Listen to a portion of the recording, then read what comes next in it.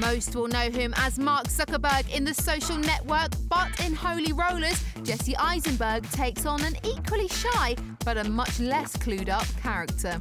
When I first read the script of this movie, I was so surprised to learn that it was a true story because the premise seemed like such a shocking movie premise, um, almost. You know, the, the way that, uh, you know, it's about these uh, young Hasidic Jews who are, um, uh, are brought into uh, the uh, ecstasy smuggling ring.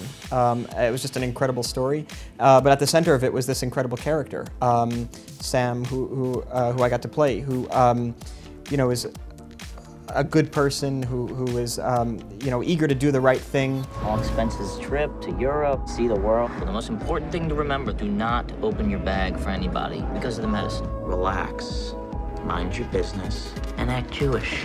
If your brother is smuggling drugs, that's great. I knew it. Said medicine. Holy Rollers is out in UK cinemas now.